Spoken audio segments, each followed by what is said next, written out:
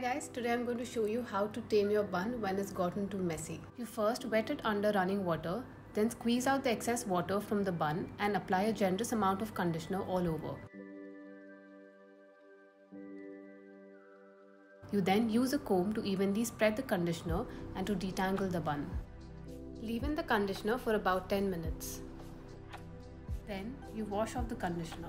We then comb through the bun inside out to ensure that the bun no longer has any tangles. Now comes the step to shape the bun. For that, you need to drain out the excess water and use your fingers to move the hair in clockwise direction. Then place it in your palm and do the same. Your little donut is now ready. Place it on a flat surface and let it air dry. This is the final result after it dries and it is now in perfect condition to be used.